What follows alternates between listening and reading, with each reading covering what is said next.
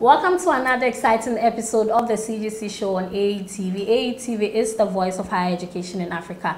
And today we are coming to you live from the Plus Oasis Park residence here in Accra, Ghana. And my name is Adjoa Omie. I am going to be your host for today. You can join in the discussion on our social media handles at AE underscore TV on Twitter, Association of African Universities on Facebook and YouTube, and at AETV Official on Instagram. My guest is a very special one, and I'll introduce him after the break. Do stay tuned.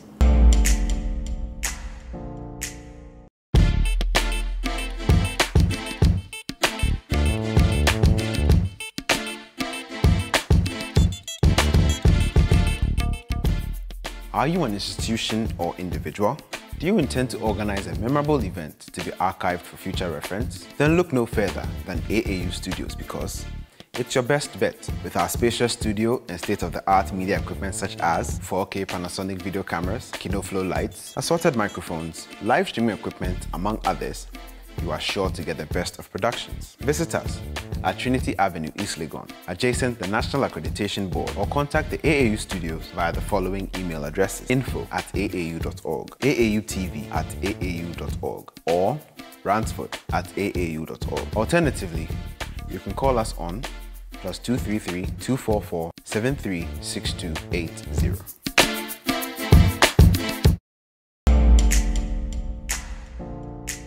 Welcome back. If you just tuned in, you are watching the CGC show on AETV.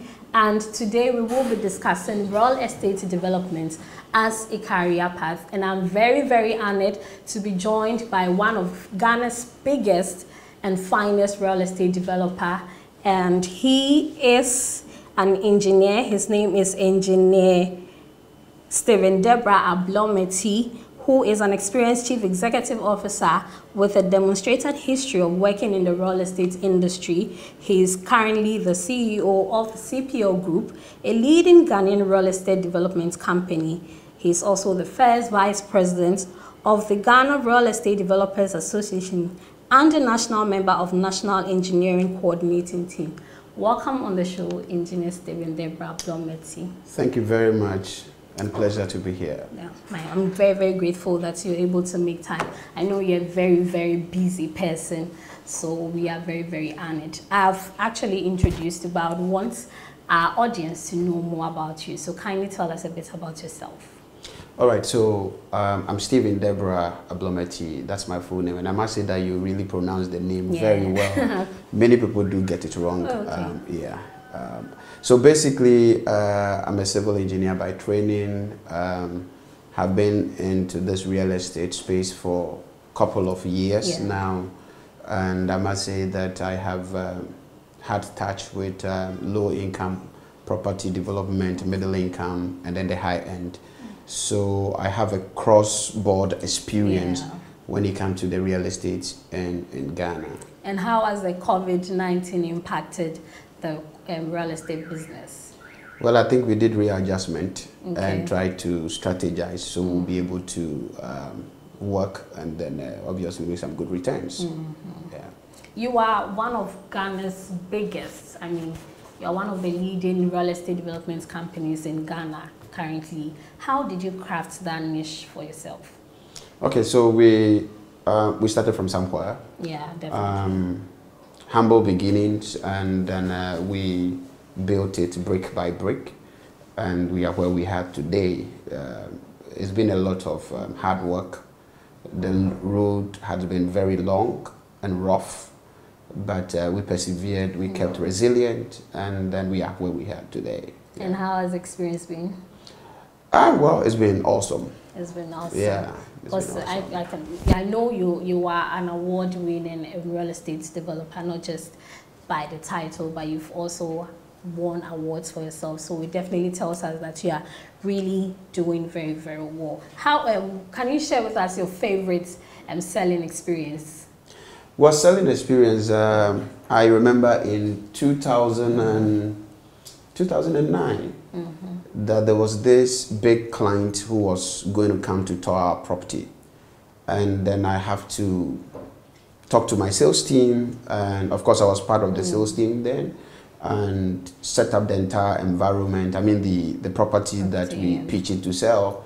Um, we set up our our our our living area very well. We put on our air condition. We make sure the place was very clean. Mm. Um, we got a chef, put him at the kitchen, and he tries to you know mm. do some art in there. And then the the client walked in and he's like, wow.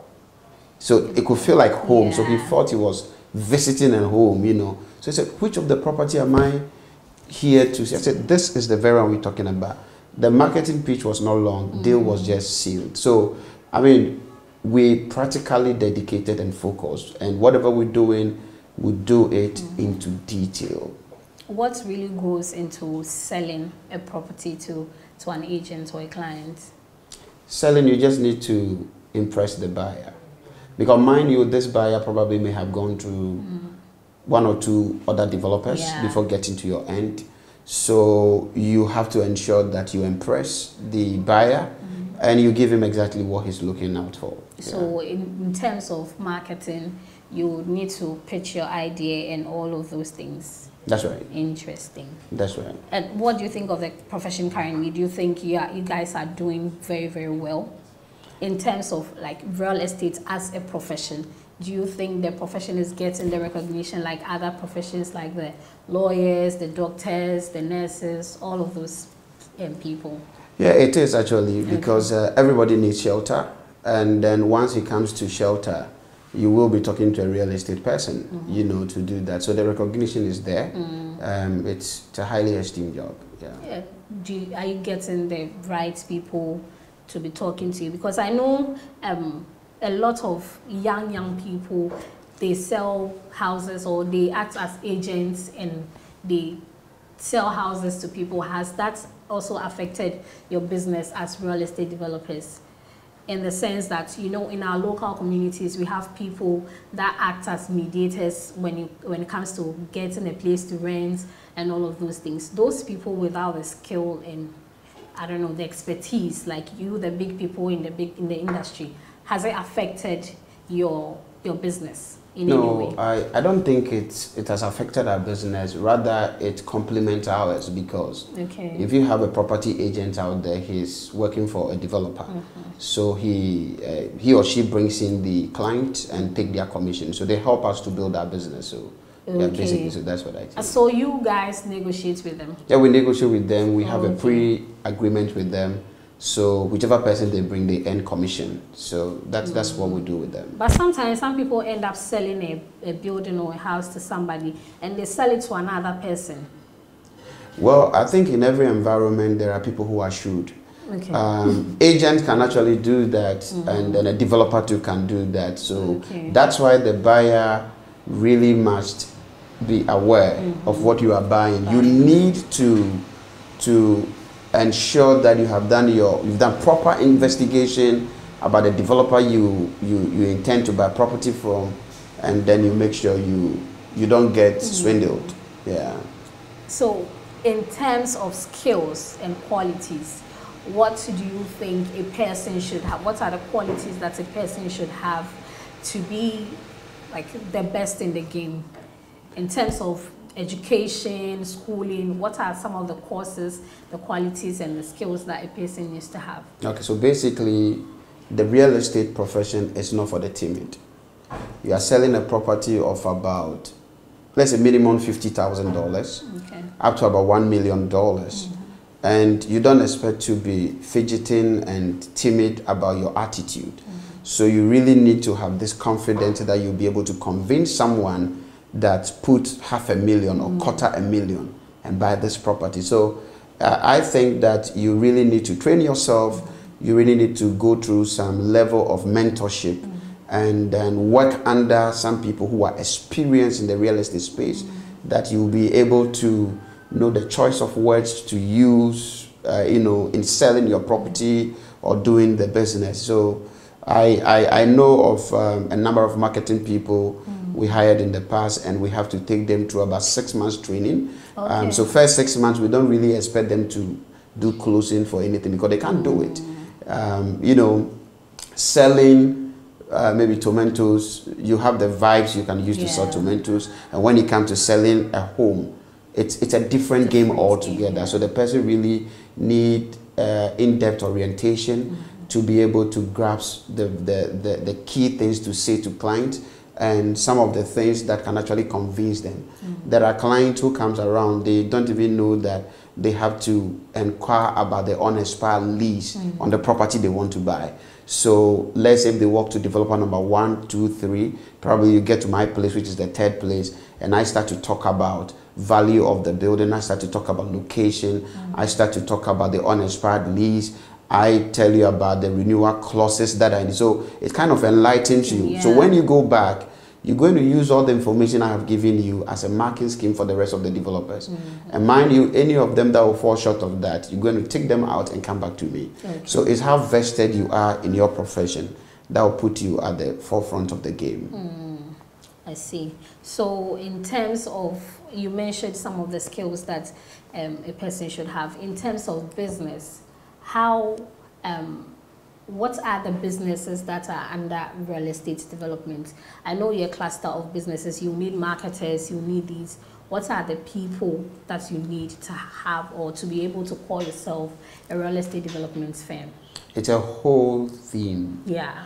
Uh, you have the marketers, of course, who are the engine of the of the of the setup. Right. You have the engineers who are the back office who do all the supervision, design. You have the architects who do the drawings, and then you you obviously have got the accounting team that have to get their acts right um, to to be sure that everything is okay. And then of course there are consultants that are also outside who uh, also give periodic advice on. Uh, land safety issues and all that. Let me let me just tell you this. Um, I have one old man in Accra Okay. who have the history about every land, wherever the land is located. So I don't only subscribe to search Yeah. result from land title, land mm. commission, and all that. After doing all those search from government agency, I go to the old one. I say, listen, I have this property, this offer at this location. What's the history? And the history he will tell you will determine whether I'm going to buy that land or I'm not mm. going to buy it. Because today there are people with title document, they don't have possession because they didn't inquire about the history. yeah. Absolutely. I see.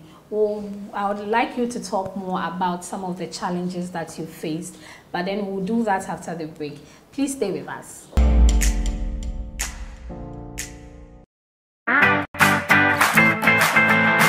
Are you a fresh graduate from senior high school or a mature applicant? Thinking of a university to enroll in Ghana? Is it possible to get a university of high moral and discipline standard? Then look no further than the Presbyterian University College Ghana, where we believe in holistic education. We train the head, heart, and hands. We are Christian university accredited by the National Accreditation Board Ghana and affiliated to the University of Ghana, Legon, KNUST, and University of Cape Coast. We offer instant employable programs such as physician assistantship, nursing, mathematics, rural and community development, environmental and natural resource management, business administration, social studies, business studies, information and communication technology, business economics, agribusiness, with experienced, innovative, and disciplined lecturers take care of students' needs in a conducive environment. Our campuses are located at Okuru Abetifi, Akuapem Akropong, Asante Tema, and Kumasi. Wondering how to apply to the school? It's simple.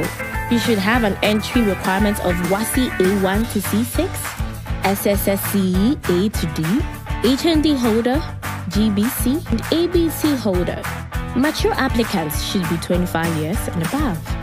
Apply by purchasing an e-voucher at 100 Ghana Cedi from the following banks: Agricultural Development Bank, GCB Bank, EcoBank, HFC Bank, Prudential Bank, Unibank, Universal Merchants Bank, and Fidelity. Buy forms using Visa or MTN mobile money by visiting the school's website at www.presbyuniversity.edu.gh. Application forms may also be obtained at all college campuses, the Presbyterian Church of Ghana head office, Osukoku Hill, and all PCG offices throughout the country. Now you can walk confidently in the job market thanks to Presbyterian University College Ghana. Call us or visit our website for more info.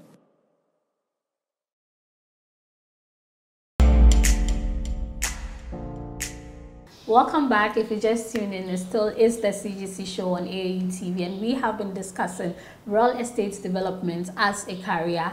My guest, engineer Stephen Deb um, Debrah Ablormeti, has delved deeper into the issue, but I want him to talk more on how he gets his clients. How do you get your clients? Well, I must say I use a lot of um, new strategies every now and then. Okay. One formula doesn't work beyond six months, so I have to be changing from time to time. Okay. Um, so many other strategies. Mm. Yeah. And has social media played uh, um, a role? Yeah, definitely. Um, social media is about uh, somebody mm. knowing someone and things like that. Mm. So, though most of the people on social media are not uh, mm. practical buyers, if I should say so, but these people do know people who can actually mm. buy. So, of course, social media has been a great addition to our sales. I saw that you have partners all across the world. How did you get those connections? Okay, my, my supplier yeah. partners. Okay, so I, I am somebody who attends a lot of exhibition outside okay. the country. So whenever I am in Italy, UK, US, Dubai, what have you, mm. China, I come across these people, we exchange contact, and then uh, we try to get sample of their materials and we start working. Mm -hmm. And one thing I do is, uh, however, let's say whatever product I have on the market today, mm -hmm. if you come back here in a year, you will realize that the product have improved. Mm -hmm. So I'm always on the lookout for great stuff so that I can add value to my products. Do you kind of um, interview your clients to know what exactly they need before you sell anything to them or you just tell them that these are what are available and so. Okay so first of all before i design a project mm. i undertake um, a comprehensive research. Okay. Um, collect data around town from individual do survey monkeys and mm. things like that and get to know the perspective of the market. So i design a product for a hungry market Okay. That's the kind of approach I use. Okay. Yeah. And do you just design, and, like build and construct only, or you sometimes make the person choose whatever they, they like, and then you you build it for the person? Okay, so um, we actually do we design and build, okay. and then uh, people come in and buy. So you yeah. involve architects, all those people. Yes, we involve architects, um, other engineering specialization, um, to render services to us and all that. Yeah. Then it's more like an investment thing because you put in a lot of work hoping to hoping that somebody would like it to to to buy and then you make some money. Doesn't it worry you in any way? No, it doesn't. It's just like the story of a good chef. All right? If a chef cooks and is out of the kitchen, he knows that the guests at the restaurant are going to enjoy it. Mm. So if you are not a good chef, you're going to put a menu down that people are not going to enjoy it. So the same thing applies in our field. So we, we put something on the table that the market wants. For instance, um, if I want to undertake a development and my target is a young family, mm. I know exactly what the needs of a young family are, mm. and I would design a product to meet their need. Oh, uh, okay. so basically, that's how I go about it. Uh, so you involve, like you put in, you get some demographics and all of those. Absolutely. Things. Wow, it's yeah. quite tedious. I was thinking it's just about probably building and construction in it. No. You just sell it. No, not at all. Let's say, for instance, if you want to build for young graduates, mm. first of all, they don't have the cash. Exactly. Do you understand? yeah. And and you, you really need to research and find out how much. Uh, should be the cost of a property that these guys can actually afford. Oh. So you you now build something that they can actually afford. And don't forget, though their affordability, um, um, um, what do you call, mm. rate, mm. it's, it's quite low but these guys have got very high taste. Mm. They want to live in a contemporary environment, affordable so uh, affordable luxury. so you have to ensure that, uh, of course, you create space. You can put his flat screen. Mm. You can't deny him that. You have to ensure that he's got a stylish contemporary kitchen. That a young woman will feel that you know in mm. that space. So basically, you just put some twist and turn and ensure that the product turns out well. Mm. And once they appreciate it I'm sure they will speak to their family members and other yeah. people, get one or two people to come on board. And I've seen a lot of young graduate male, female dating to put their monies together and buy a home. So yeah, mm, that's. Interesting. Um, has there been an has there been an instance where um, probably somebody um, a client will come and tell you that okay this is the kind of home that I want, but then I, I can see that you have this. So what what can we do about it? Okay, so I must say we allow for customization. Okay. So let's say even in this apartment here, if you buy a two bed, one bed, or even studio, and you want to have certain special gizmo in your studio space, mm -hmm. yes, we allow you to do that customization. I see. Yeah.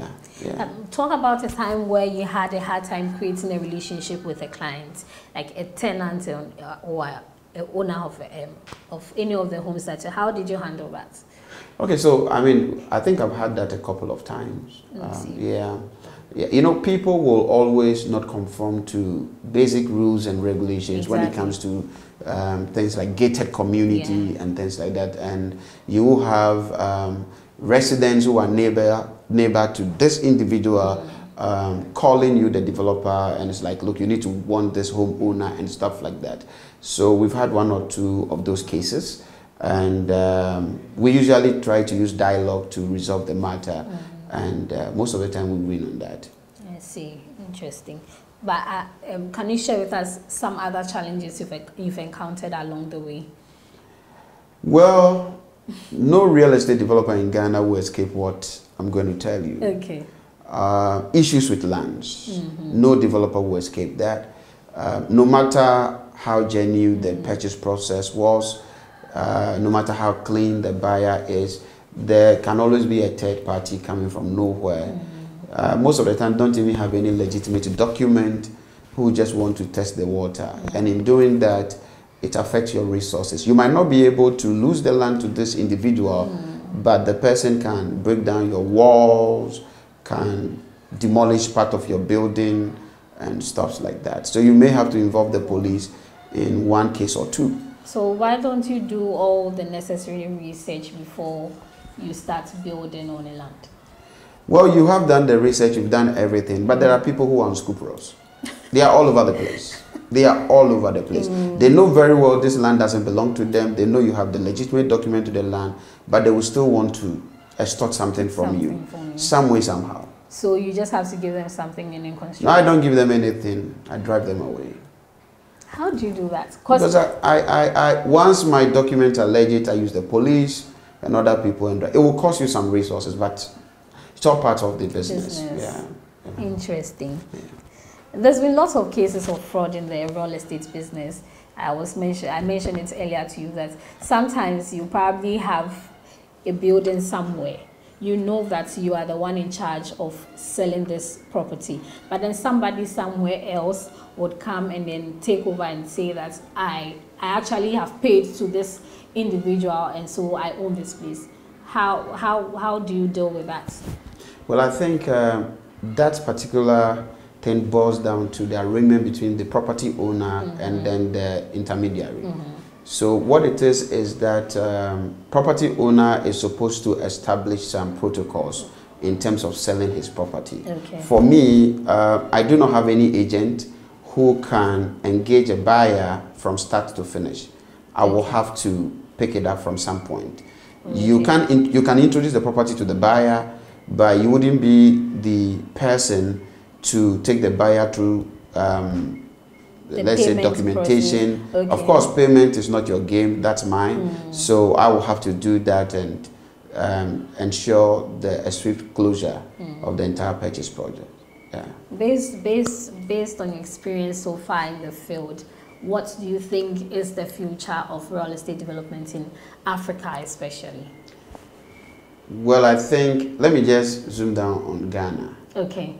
Because Ghana have, you know, we all we all we all talk about 1.7 million deficit. Mm -hmm. So what it means is that the majority of the people don't have home. Yeah. And once there is a demand, it presupposes that there is a need for supply. Mm -hmm. So if we are unable to supply what the volumes are calling for, uh, it tells all of us that there is a future for that market.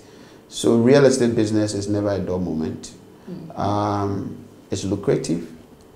but you need to work hard because there are a lot of people in the space. It's also capital intensive, so um, it is not the ideal business Yeah. for beginners. But you can start from some aspect of real estate. Because real estate is big. It's not only about the developer.